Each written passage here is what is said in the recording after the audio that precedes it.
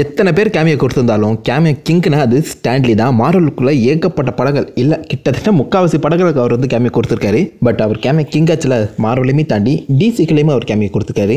எந்த படம்னு கேட்டிங்கன்னா டீன் டைட்டன்ஸ் கோ அது ஒரு அனிமேஷன் படம் தான். பட் இருந்தாலும் அந்த படத்தில் நம்ம ஸ்டான்லி எக்ஸ்க்ளூசிவாக ஒரு குட்டி கேமியோ கொடுத்துருப்பாரு. ஸ்டாண்ட்லியாகவே ப்ளே பண்ணியிருப்பாரு. Look at me. I'm Stan Lee doing my subtle cameo. மனுஷன் பார்க்க அனிமேட்டடாக இருந்தாலும் அவருடைய வாய்ஸ் மூலியமாகவே சூப்பராக எனர்ஜியை வெளிப்படுத்தியிருப்பாரு கேமியோ கிங்னா சும்மாவா